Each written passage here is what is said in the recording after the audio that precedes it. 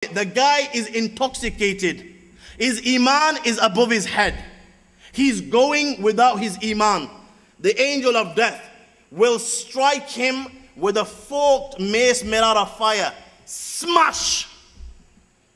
And every fork of this mace will penetrate inside his body, in his skin, in his bones, in his flesh, in his marrow, in his veins.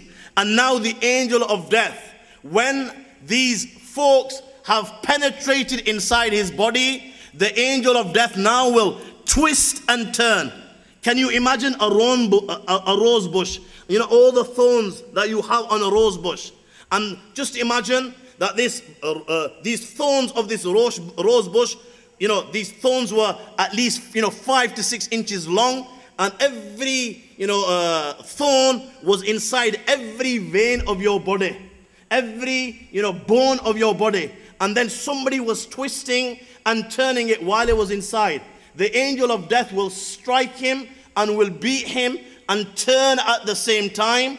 The angel will take out his soul from beginning from the toes, he will stop it at his ankles, and then the angels will beat him. And now the angel will take out his soul from his ankles, he will stop it at his knees and smash him again. And now the angel will take out his soul from his knees to his waist, smash him again. The angel will take out his soul from his waist to his chest, smash him again. Then he will call out, اخرجي أيتها النفس الخبيثة إلى سموم وحميم وظل من يحموم لا بارد ولا كريم Come out, O accursed soul, to a place of scorching wind, scalding water, shadows of black smoke, no cool, no refreshing. The angel will take out his soul. Now the, the earth, every place in which Johnny 5 disobeyed Allah and his Rasul sallallahu alayhi wasallam, every inch of the earth will begin to curse Johnny 5 and will thank Allah for this blessing.